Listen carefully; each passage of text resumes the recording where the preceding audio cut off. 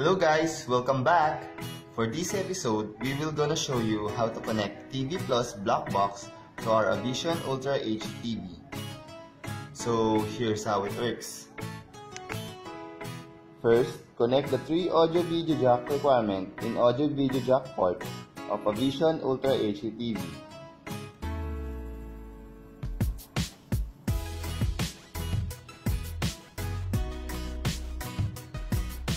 Press the power button of TV Plus black box to open.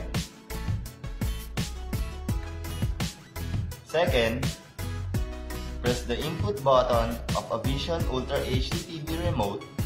Click the AV icon as seen in the screen. And hola!